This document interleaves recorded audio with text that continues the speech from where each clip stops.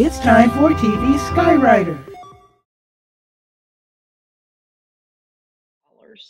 And you will hear some people say that it's for the renovation of Main, but I like to describe it as the transformation of Main. Hmm. Because with this $44.3 million, we would be able to really do Main Library completely over. The only thing that would remain is the beams and the structural foundation. Beyond that, it would be a complete, completely new building. It's just not easier just to tear it down and then build a new one? Yes, the architects and engineering in doing their homework related to this to use the structural foundation and beam will be a savings of two to two point four million dollars. So it makes a big difference. And fortunate for us, the people that built the library some 35 years ago made it where the top level can accommodate a fourth floor. So it really is a, a true savings. So they already knew it was going to expand, or they guessed that it, that it might, huh? I think we were just fortunate to have some visionary folks in the past. How about that? Because I, I know when the Chicago main library was, um, when they were looking at different buildings, they tried to choose a building where they can add a floor to it. And I, I remember the engineer saying that the particular building that they had chosen um, could not withstand the, I guess, the forces or the weight or whatever. So we are lucky that we the main are, library structure can um, can accommodate an extra floor. Yes, we are very lucky in that. Um, when the architects were working with us, it was the program that really determine if the building would go up in additional square footage or if it would go out in size. And it will actually be a combination. Currently, it is 65,000 square feet and we will be adding an additional almost 20,000 square feet. So when the project is finished, we will have 84, almost 85,000 square feet, um, square foot main library. It's exciting. Nice. Now, folks, you can actually see what the plans. Um, actually, I don't know if these are the final plans or not, but I went to Durham County Library.org slash transformation Main. And I saw some drawings. They were so outstanding. I could not imagine that you could pull it off because it looks unrecognizable. Can, can you tell us some of the new features we can expect? Yes, the renderings are pretty breathtaking. Um, it's right now just conceptual design, and there's still a lot of work that will need to happen to finalize, but that's very close to what we will have as a main library if this bond passes on November 8th. Um, the library is going to have so many exciting things, but one thing that I want people to remember is that the book will still be there. I've had some people ask, there's a focus on technology. What about the book? Well, the traditional book will still exist, but we will have an increased amount of technology. Um, that's one of the reasons a main transformation is needed we can't accommodate any more technology here at Main Library right now. And that is a very difficult thing to know when we know that there's such a digital divide. So some of the things that will be included is a STEAM Literacy Center, and that stands for Science, Technology, Engineering, Arts, and Math. We will have um, meeting room space for our community to use as well as for our programs. Um, our auditorium space will be able to accommodate 300 people. That is pretty amazing. Yeah, when I uh, saw so, the drawing for the auditorium, I was blown away. Yes, and one one cool thing about those drawings also is the the seats are able to retract back. So we can go from having these 300 chairs for people to sit in to pulling it back and still having our friends' book sales and things happen in that same space in a flat area. That's part of what we're trying to do is make sure that there's a lot of flexibility and that we're building a library that will really stand the test of time and, and keep up with the future trends that are out there. Um, we'll also be expanding our North Carolina collection. And our librarian now, Lynn Richardson, who has been with us for many years, is preparing to retire. And this is almost like a gift to her to know that if this bond passes and we get a renovated main library, that there'll be additional space for the North Carolina collection to really highlight the things that we have here. Wonderful, wonderful, and and that's very deserving. Um, Lynn Richardson, um, I, I, hate to see her go, but I guess everybody has to retire sometime. But I she know. convinced me to donate our family treasures, so to speak, to the Durham County Library. So now um, my family collection's in there. Well, that's great. Thank you. We really appreciate that. And if anyone watching is interested in donating their papers to Durham County Library or anything that you consider as that treasure, please let us know. We'd be glad to accept those documents. Awesome. Um, now, is STEAM the same as the Maker Lab? Because Faith, the teen librarian, showed me this um, this small but very cool Maker Lab that was recently opened in the in the teen area on the first floor. Yes, yes. Well, I guess I would have to say yes and no. Um, we're using the disciplines of STEAM because we know, regardless of what year it is in the future, there are always going to be those disciplines for people to learn from. And that will be throughout the fabric of the new library. So it won't necessarily just be in one location that you can only experience STEAM, it'll be throughout. But then we will also have a separate maker lab, and it will focus on those same disciplines, um, but in a different way. So we would have coding, robotics, um, Raspberry Pi, and I don't mean the pie that you eat. This is all related to Oh. technology and creating many computers and things Oh, of okay. that nature. Yes. no Raspberry Pi at the new library. That's fantastic because Faith was showing me the. She, she was explaining to me how it works. I don't know anything about the 3D printing and all that, but she said that when the new library is um, built, constructed, reconstructed, um, you know, with the laser and the 3D printing and all that, it's going to be really, really exciting, especially for kids because they're learning this stuff in school.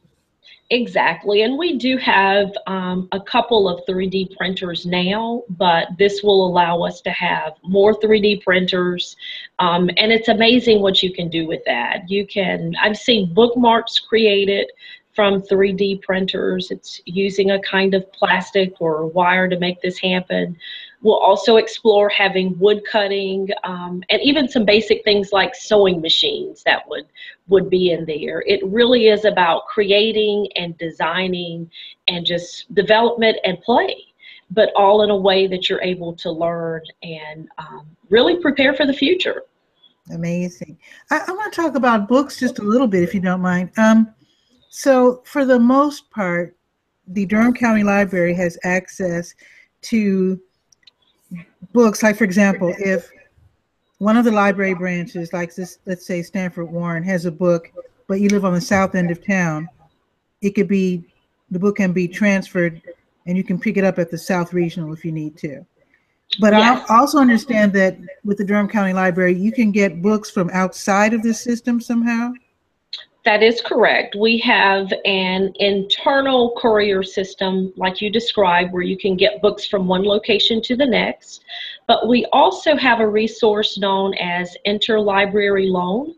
And with that, if there's a book that we do not have here at Durham County, we will look throughout North Carolina and even throughout the United States to see if that book is available somewhere else. And we'll bring it here for your usage. So it's a great resource. And right now, we're a lending site for other locations, other libraries, and also we check out the items as well. And you can also make books available um, via e-readers too, right? Yes, that's correct. By using your tablets, we we do have the ebooks for people to use as well. That is so modern. I love that. But I have one more question about this. I read that the main library in New York City in Manhattan has some kind of a station where you can somehow order. I'm trying to think of the right terminology, like a, a book on demand, and print okay. it at the library. Will you be able to do that? I'm not familiar with that resource right now, not to actually print it on demand. Um, we are exploring some ways of checking out books through vending machines and stuff of that nature when we're closed, but that isn't anything that's a definite yet. It's going to depend on the co- the cost and how far we can stretch our dollars. But I'd be interested in finding out about printing a book out on demand. That's that's pretty cool. It sounds cool, although I can imagine that's a lot of paper, though. it does sound like a lot of paper. so I, it might be smarter to do it electronically. You know, I wonder, will there ever be a time when the library will be able to lend out e-readers like Kindles? Because I was just thinking, what about low-income people or people who just don't have internet at home? Um, would there be a way for them to um, get access to books electronically from the library? Yes, we are hoping to move into that more. We have tried checking out um, Kindles at one point with book clubs, but we are exploring how we can check out tablets and possibly Wi Fi hotspots. But again, right now, this is in the research phase to see how much it would cost, how we can um, kind of control some of the things that are on the devices and make it more beneficial. Um, mostly what we're, we're working to target with is for the kids so they can use it for a homework resource so we're exploring that and i'm hoping by the time we would reopen that we would have that in place if not before we close, um, so that people can use that during the time we're closed. Okay. Now, getting back to the bond referendum, um, you know, this is going to happen on election day, November 8th. So you said there's four entities. You said Durham Tech, Durham County Library. What are the other two? Durham Public Schools and the Museum of Life and Science. Okay, so is it an all for one? It's, it's not like you choose which one to vote for, right? Or are all they four? are listed? They are listed individually. So to make your selection, you would have to vote for each one individually.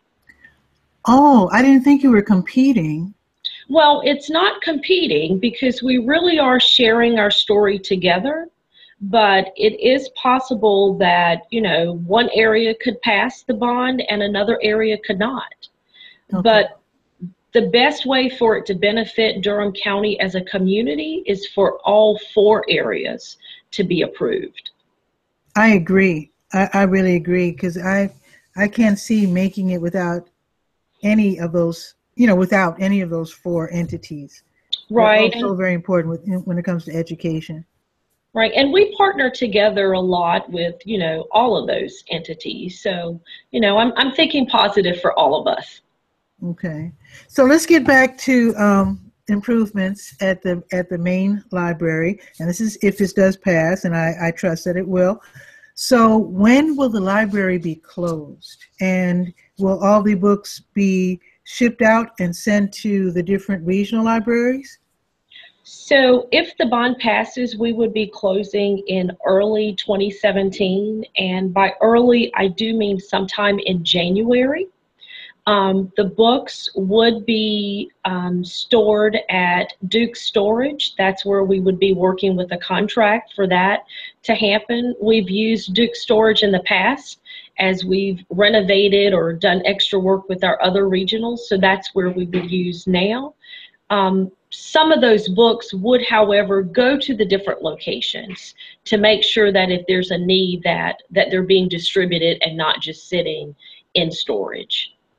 Okay, so I know that there's about 60 computers at the main library. Will those also be um, divvied up among the different the you know the different libraries around town?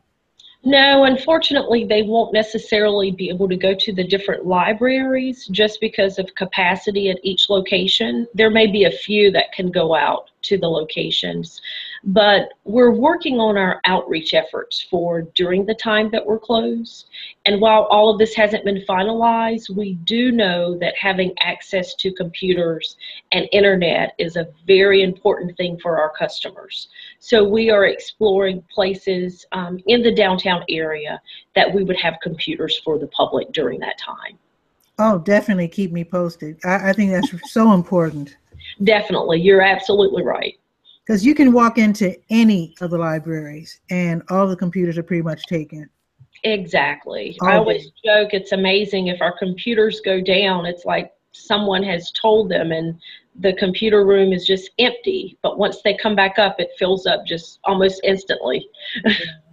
I, I, I do hope you find a place downtown I, I feel confident that we will, and we're in conversations, but again, nothing has been finalized yet. But I'm confident that we'll be able to offer this resource to the, the downtown community. Okay, I really hope so. Okay, um, so closed in early 2017, and then how long would it take for the new building to be? Well, I guess we should call it a. You said transformation, not renovation. Yes, transformation. Um, if we close to the public in 2017, then we are looking at um, construction in some form would begin most likely around March or April. Um, it may be small scale, it may not be necessarily visible to everyone just driving by that construction starts. And then we would be closed for about two years. So that's why it's so important for us to plan out this outreach efforts that we'll have so we can make sure during those two years that we are still serving the public the way they need to be served. I really hope so. Uh, and also, being from Chicago, I have to point out that this happened in Chicago where the main library was shut down, but I think a lot of it was unfortunately political. And I remember the main library being absolutely closed. Everything was inaccessible for more than five years because throughout my entire high school um, career, um, I couldn't go to the library, at least not the main library. And that was a real shame. That that is that's very unfortunate. Um, while this library will be closed for the sake of the the transformation, we will still be providing resources. You know, there'll be programs that are going on There'll be, um, you know, opportunities for people to use our computers, to check out books, to check out DVDs, and we'll be utilizing our outreach services even more. You've probably seen our destination literacy vehicles driving throughout Durham. So oh, we will, yeah, I went to the great unveiling. It was at Northgate Mall. right. um, I guess we used to call them bookmobiles. Exactly, exactly. And they're still a bookmobile of, of sorts, but um, we've given them a cool name and really emphasizing that literacy component because that's what we're about making a difference in literacy for our community, be it reading or um, technology, health literacy, financial literacy. But those vehicles and the staff that drive them will be going out to more places in the community. So while our doors are closed and you can't come to us here, we'll be going to you in the community. I love, I mean, they have thousands of books. Yes. Thousands. Yes. And in fact, if I'm not mistaken, I might be mistaken, but I think they're going to be at the Durham Center for Senior Life tomorrow morning at 11 o'clock. I, I believe it is. Absolutely. I think that's tomorrow, Thursday at 11. I think you're right. Okay. Do you happen to have a schedule of um, the literacy mobile? I do not have a schedule with me right on hand, but that information is available, I believe, on our website. Oh, so oh, okay. users can find it that way by doing, going to the Durham County Library website. Um, and if you do have questions beyond that, just calling the library and we'll gladly assist you with that. Okay. So, how can we help you? I know you want us to vote for the referendum, of course. But how can we help you um, get the word out? Because I've seen the signs on the streets, you know, um, they're along with the political signs. And it says for referendums. They don't say what they are because, after all, they know that we're driving down the street and can't read an entire sign. So I know it's it's on the minds of people. I'm sure they're noticing the signs saying for referendums, but how can we really help you spread the information?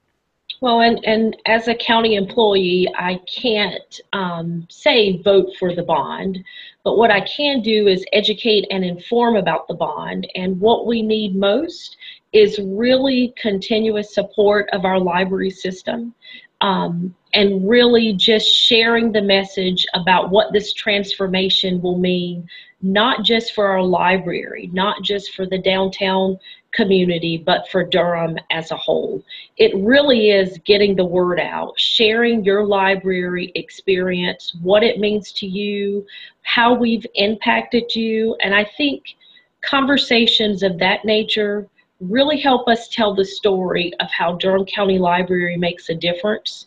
And that's what makes people remember us when they go to the ballot, to the election site, um, and they see the library and they think about those personal stories and they think about the impact that we're having. We're more than brick and mortar. We're life changing in what we do in the community, whether it's a young child that started off shy coming to story time and after a few visits they're learning to engage more with other kids to the young child that is having trouble reading and they're being tutored by some of our um, adult or other high school students here to help them improve.